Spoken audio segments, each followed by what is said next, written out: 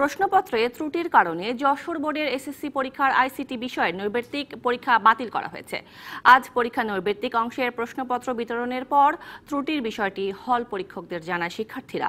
এরপর বিষয়টি বোর্ড কর্তৃপক্ষের নজরে আসলে পরীক্ষা বাতিল করা হয়। যশোর মাধ্যমিক ও উচ্চ মাধ্যমিক শিক্ষা বোর্ডের পরীক্ষা নিয়ন্ত্রক মাধবচন্দ্র রুদ্র জানান, বিজি প্রেসের মুদ্রণজনিত ত্রুটির কারণে পরীক্ষা বাতিলের সিদ্ধান্ত নেয় বোর্ড কর্তৃপক্ষ। পরে এই পরীক্ষার বিষয়ে বিজ্ঞপ্তির মাধ্যমে জানানো হবে।